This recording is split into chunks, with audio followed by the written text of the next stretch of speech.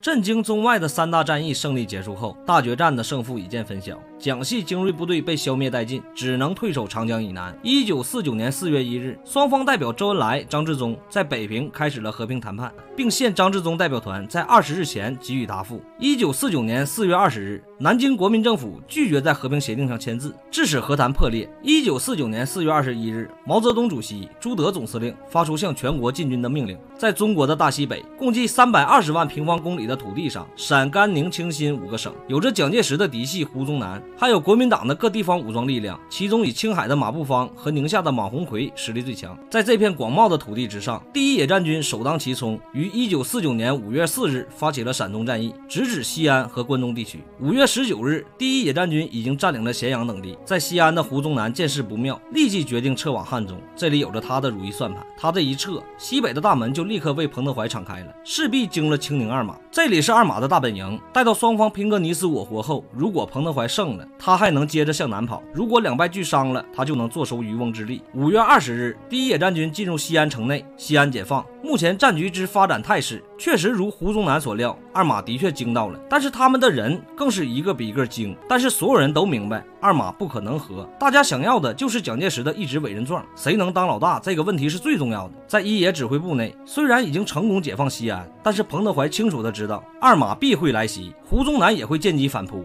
所以命令刚刚从华北军区归入一野的第十八和十九兵团立刻加快行军速度，务必在战事发生前从太原赶到西安。委任状已到，蒋介石原本希望委任宁夏的马鸿逵为西北军政长官，但是他已经下野，李宗仁成为了代总统。于是最后的任命结果就是马步芳为西北军政长官。在会议上，马步芳让自己的儿子马继元指挥清宁联军，马继元立刻开始了作战部署，在彭德怀的华北军没到之前，趁他兵力不够，一定要打下咸阳和西安。彭德怀对于他的行动看的是清清楚楚，预计后天战斗就能打响。但是十八兵团的六十一军在急速行军后，明天下午就能到。这一招马继元是怎么都不会想到的。十八兵团六十一军在赶到西安后，下属幺八幺师已经得令奔赴咸阳，组建第一道阻击敌人的防线。一九四九年六月十一日，咸阳阻击战正式打响。在消灭了大量敌人后，彭德怀命令主力部队主动后撤，诱敌深入。马继元以为一野已经溃败，咸阳和西安唾手可得。遂命令青马部队越过宁马防线，直接进攻咸阳。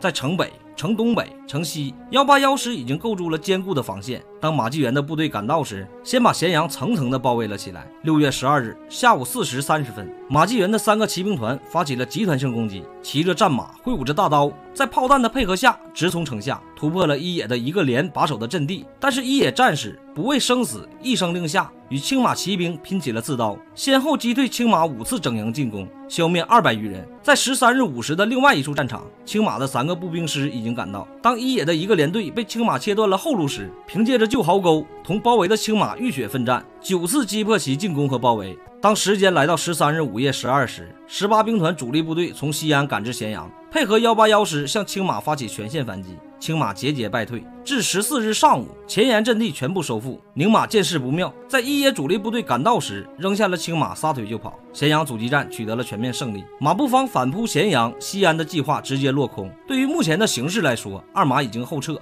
彭德怀和贺龙进行了深入的讨论，二马现在是精神高度紧张，兵力分散，快速歼灭不太可能。而胡宗南的五个军兵力集中，全都聚在了一起，这正好犯了兵家大忌，部队的部署没有纵深。当被包围时，没有可支援的部队，只能让自己变成瓮中的鳖。所以，消灭胡宗南于秦岭以北，怎么看都是合理的。用三个兵团包围胡宗南的五个军，再用剩下的一个兵团牵制住二马，这事儿就成了。而胡宗南非常笃定地认为自己的阵型没有问题。彭德怀要想打过来，编入的华北军最少得拖他一个月，而且打马我帮，打我马帮，实在不行我还能跑。彭德怀就是要用他意想不到的方式，给他来个迎头一击，让部队进驻胡宗南与二马之间的罗局镇和梅县火车站，切断两者之间的联系。剩下三个兵团全力围歼胡宗南。一九四九年七月十日，第一野战军兵分三路，王震率领的第一兵团，许光达率领的第二兵团。周士第率领的第十八兵团同时向胡宗南的军队进行炮击，一野的进攻是胡宗南没有想到的，炮弹所到之处，敌人丢盔卸甲，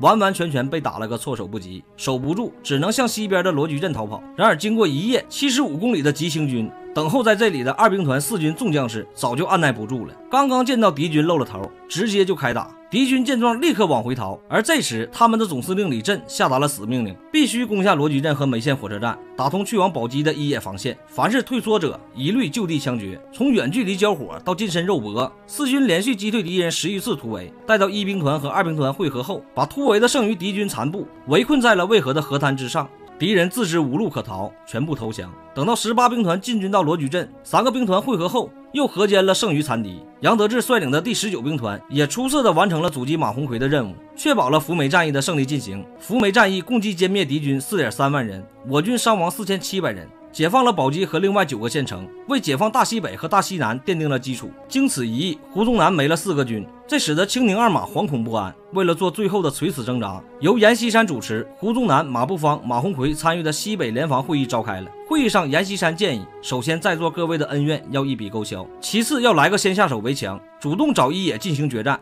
马鸿逵不愧是匹滑马，哼哈的答应着阎锡山的提议，长篇大论的大谈与青马的感情。马步芳也开始聊起了亲情，从他这算，与马鸿逵上下四代姻缘。说到动情处，全都拿起了白手绢，擦去了流下的鳄鱼的眼泪。在大局面前，二马终于冰释前嫌，兰州决战计划这就完事儿了。回到休息驻地，马鸿逵赶紧把儿子喊来，打包好行李，当夜就飞回银川了。去兰州决战，那是万万不可能的。马步芳得知马鸿逵逃跑后，这个气呀！刚才那出戏可能就他当真了。从二马的行军路线上来看，彭德怀看着作战图，开始了沉思。二马归巢，各回各家。打宁马，青马可防可逃。打青马，宁马还是那个瓮中的鳖。那最后的决战地点就在这儿，兰州。一野部队开始向兰州进军。过了这条河，就是回族比较集中的地区了。一野众将士认真地执行着毛主席强调的民族政策，尊重民族的宗教信仰和生活习惯，把猪肉、猪油全都扔在了河的这一岸。做完了这些，一声过河，大部队浩浩荡荡地趟河而过。决战马上就要开始了，作战部署也随即展开。一兵团迂回敌后，切断敌军退路；二兵团向城南、城西进攻，并向东包围敌军。十九兵团向城东发起进攻，十八兵团在宝鸡天水地区牵制胡宗南。战前已经明确的知道敌人的南山阵地是其精锐，由八十九军和幺二九军把守，共约五万人。一九四九年八月二十一日，二兵团和十九兵团的六个团组成了工程部队，向南山阵地发起进攻。因为准备不充分，攻击受挫，激战两日，伤亡很大，进展甚微。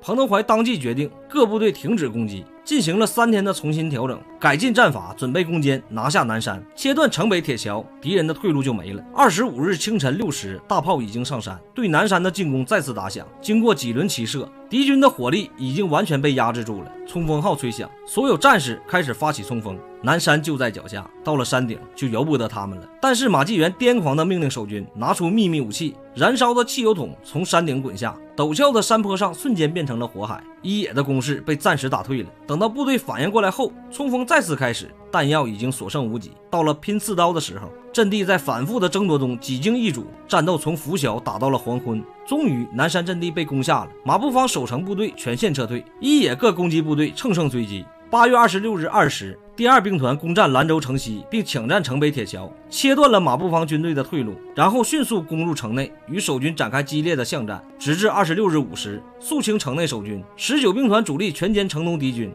马步芳十四日先行一步回到西宁，马继元二十六日紧随其后也跑了。待到最后进攻西宁时，父子俩逃到了广州，然后随蒋介石去了台湾。马鸿逵这边不仅没派兵支援。在得到兰州失守的消息后，举全家妻儿老小逃到了重庆，后又去了台湾，最后去了美国。陕甘宁清新五个省就剩新疆了。面对一野摧枯拉朽的现实，陶峙岳、包尔汉于九月二十五日发出通电，宣布率全省军政人员起义，新疆得以和平解放。影片到这儿也就结束了。第一野战军与其他野战军相比，所处环境更为恶劣，人员不足，武器装备相对落后。解放战争期间，共计歼灭敌军六十四点八万人，铲除了盘踞在西北七八十年的马家军。在三百二十万平方公里的土地上，先烈们洒满了鲜血，给这片黑暗笼罩的大地带来了一片勃勃的生机。